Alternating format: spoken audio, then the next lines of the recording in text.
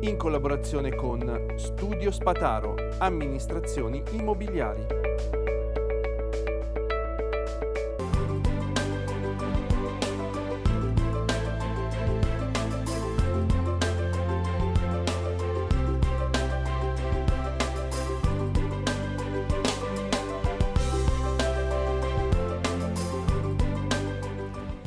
Bentornati ad una nuova puntata di Avvocati Rispondono. Oggi parleremo dei pagamenti delle retribuzioni. Dall'1 luglio 2018 sarà vietato l'uso del contante. Abbiamo chiesto all'avvocato Pollastro se la norma sarà applicabile a tutti i tipi di contratto e cosa dobbiamo sapere per non incorrere in problemi di natura fiscale. Buonasera. Eh, segnalo una novità normativa importante, affondata nelle norme dell'ultima finanziaria. Stiamo parlando del comma, udite udite, 911, 912 e 913 dell'articolo 1 della legge 205 del 2017. Stiamo eh, veramente parlare di certezza del diritto è quantomeno improprio. Beh, queste tre norme, questi tre commi, però eh, definiscono un eh, passaggio importante nel modo con cui vengono definiti i pagamenti delle retribuzioni. Viene definito in modo chiaro che a partire dal primo luglio del 2018 non possono più essere pagati assolutamente retribuzioni in contanti. Devono essere pagate tutte obbligatoriamente in, con assegno, con bonifico o con altri strumenti di tipo elettronico. Il contante viene eliminato, è vietato. Il che vuol dire, in buona sostanza, che il concetto di busta paga Ancora noi oggi parliamo di busta paga. Una volta, non molti anni fa, le buste paghe erano veramente delle buste dove i datori di lavoro mettevano dentro i, i, i contanti, i soldi. Oggi rimane il concetto di busta paga ma come listino retributivo, non la busta paga, quindi è abrogata come contante. Mi preme segnalare che eh, rimangono escluse da questo divieto soltanto sostanzialmente le retribuzioni che vengono erogate nell'ambito di rapporti di lavoro domestico, quindi i colf, tanto le colf, tanto per intenderci. Ma la norma interessantissima che emerge è che per la prima volta viene chiarito un aspetto che aveva suscitato in passato molti dubbi molte incertezze e sentenze assolutamente contraddittorie. Io stesso ne avevo parlato qualche tempo fa e avevo detto attenzione a fare quella cosa, cioè in buona sostanza il valore che ha la firma che il lavoratore appone sotto la busta paga, possiamo ancora definire, cioè più che la busta paga diciamo il listino retributivo. Cioè, in buona sostanza, il datore di lavoro dà la busta paga, il listino retributivo in cui c'è scritto netto 1500 euro. Il lavoratore firma, quella firma vuol dire che ha preso i 1500 euro oppure vuole semplicemente dire che ha ricevuto il documento, ma che si riserva di verificare. Allora, pacificamente, una firma non vuol dire che uno è d'accordo con quella somma. Se uno poi va a fare i conti e dice che non doveva prendere 1.500 ma doveva prendere 1.600, è di tutta evidenza, la giurisprudenza è monolitica su queste cose. Una firma vale come ricevuta eventualmente della somma. Oggi si fa un passo in più importante su cui già la giurisprudenza era, si era mossa in passato, ma in maniera piuttosto titubante. La firma fatta sotto il documento vuol dire semplicemente che ho ricevuto il documento, ma non necessariamente ho ricevuto i soldi.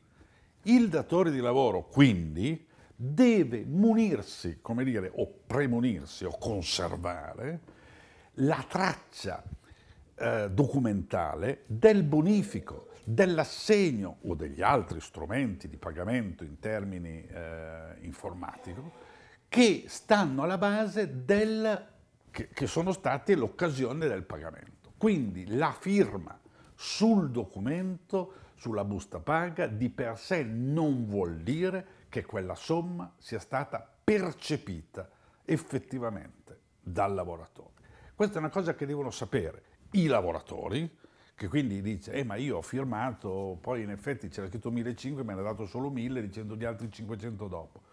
Devono sapere i lavoratori, ma devono sapere anche i datori di lavoro. Cioè il datore di lavoro, allegando, come dire, la busta paga, dovrà ehm, eh, come dire, eh, raccogliere conservare la documentazione bancaria, o la, la copia dell'assegno o quant'altro, dalla quale risulti che effettivamente quella somma è stata effettivamente erogata.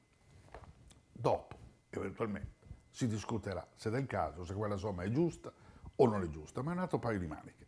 Il problema è provare che quella somma è stata effettivamente data, ricordando, lo ripeto, che la norma dice ormai che la firma sto leggendo letteralmente il comma 912 dell'articolo 1 della finanziaria, la firma apposta dal lavoratore sulla busta paga non costituisce prova dell'avvenuto pagamento della retribuzione. Grazie.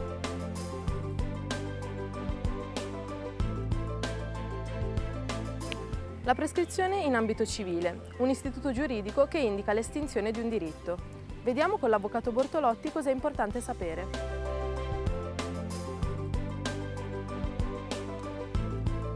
Parliamo in questa occasione della prescrizione. Eh, la prescrizione è un argomento che ha avuto una risonanza importante negli ultimi tempi, soprattutto eh, però in ambito di eh, materia penalistica. Se ne è parlato molto anche nel dibattito politico, nell'ambito dell'informazione e della divulgazione. È bene ricordare però che la prescrizione esiste e come e ha degli effetti importantissimi anche in ambito civilistico. Entrando brevemente nel dettaglio, mh, mm, ci chiediamo quindi che cos'è la prescrizione in ambito civilistico. La prescrizione è un istituto giuridico che eh, produce l'estinzione, quindi l'estinzione di un diritto soggettivo, quindi un diritto di, di, di una persona, per effetto dell'inerzia eh, del titolare del diritto stesso, ossia per effetto del non utilizzo eh, da parte del titolare del diritto stesso nei tempi e nei termini eh, che, la legge, che, la legge, impone. Eh, come si può capire sin dalle prime battute, si tratta di eh, un'eventualità di rilevantissima importanza. Eh, la legge ha voluto eh, ha previsto l'esistenza della prescrizione proprio per ragioni di certezza stessa del diritto e quasi di ordine pubblico, perché è evidente che eh, nella circolazione anche commerciale, nei rapporti fra eh, i soggetti con i terzi, deve esistere la certezza con riferimento all'esistenza e alla durata di un diritto. È bene ricordare che le norme sulla prescrizione sono eh, inderogabili proprio per le ragioni di tutela eh, della certezza del diritto e dell'ordine pubblico cui accennavo prima. Questo cosa vuol dire? Che non può esistere la rinuncia preventiva alla prescrizione di un diritto, eh, può esservi solo la rinuncia eh, successiva, ossia colui che si può avvalere nei confronti di un'altra persona dell'avvenuta prescrizione di un diritto di quest'ultima persona lo può fare solo successivamente per sua scelta libera, ma le parti, anche all'interno di un contratto, non potranno mai accordarsi per l'eliminazione della prescrizione assolutamente, ma neanche per l'abbreviazione o l'allungamento dei tempi stessi della, della prescrizione. Eh, la prescrizione in ambito civilistico, sia questo periodo eh, che produce l'estinzione del diritto se io non lo esercito, non si può applicare a quei diritti cosiddetti indisponibili, cioè tutti quelli che hanno a che fare con lo status delle persone. Un esempio molto concreto è ad esempio la potestà dei genitori sui figli, ancorché non esercitata, non può assolutamente eh, cadere in, pres- in, prescrizione. Lo stesso dicasi per il diritto di proprietà. Eh, io non sono obbligato dalla legge a fare nulla con un immobile, un oggetto di mia proprietà, posso tranquillamente non esercitare in alcun modo il mio diritto, mantenere la proprietà e non subire alcun tipo di, di, di sanzione o di conseguenza pregiudizievole.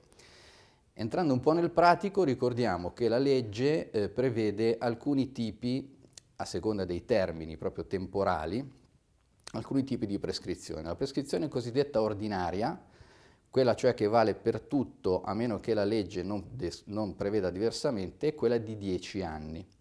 Allora, ricordiamoci in particolare la, la, materia più importante è quella delle obbligazioni, ossia dei crediti e dei debiti. Il mio credito eh, ha un termine di prescrizione di 10 anni, ossia se io devo riscuotere un, un credito, qualcuno deve darmi eh, una somma per più, le, le più svariate motivazioni legate a un contratto, io ho 10 anni di tempo per far valere il mio diritto. Poi esiste la cosiddetta prescrizione breve, di 5 anni che raggruppa anche qui delle categorie molto importanti, ad esempio eh, si prescrivono in 5 anni i diritti legati all'affitto, alla locazione, quindi un, il canone della locazione deve essere preteso entro 5 anni, se no cade in prescrizione e non, non può più essere richiesto. Il diritto agli stipendi e all'indennità dei lavoratori e poi, categoria molto importante, il diritto al risarcimento del danno extracontrattuale, ossia quando io ho un danno che non deriva da un contratto, ma da un fatto illecito, da qualcuno che mi causa un problema fisico o eh, quant'altro, io ho 5 anni per esigere il relativo risarcimento. Uh, un cenno va dato ad alcune categorie, anch'esse importanti, eh, che ehm, hanno un periodo eh, di prescrizione più breve. E, ad esempio, una importantissima è quella dei danni da circolazione stradale, che sono una sottocategoria dei danni eh, extracontrattuali. Il periodo entro il quale io devo pretendere il mio risarcimento del danno che ho subito per un incidente da circolazione stradale è di due anni, quindi facciamo molta attenzione a, a non dimenticarci che questo termine è molto breve. Um, un anno invece è il termine di prescrizione ad esempio per i premi assicurativi, cioè entro un anno dalla scadenza del premio l'assicurazione dovrà pretendere il nostro pagamento, altrimenti cadrà in prescrizione. Il termine prescrizionale, e concludo, si può interrompere entro appunto i 10, 5 o 2 anni con un atto formale, ossia una raccomandata, una eh, mail di posta certificata o l'avvio di un procedimento giudiziale. Quindi prestiamo molta attenzione a questo aspetto che riguarda il possibile esercizio dei nostri diritti e quando abbiamo dei, dei dubbi anche sul periodo dal quale dobbiamo cominci- cominciare a contare il periodo temporale che può portare alla prescrizione, abbiamo assolutamente necessità della, eh, del parere eh, tecnico di, di, un legale a cui è sempre meglio rivolgersi in questi casi di, di dubbio. Anche per oggi la puntata è terminata. Vi ricordo che se avete domande per i nostri avvocati potete scriverci. Avvocati rispondono chiocciolaicomizio.it. Noi ci vediamo settimana prossima.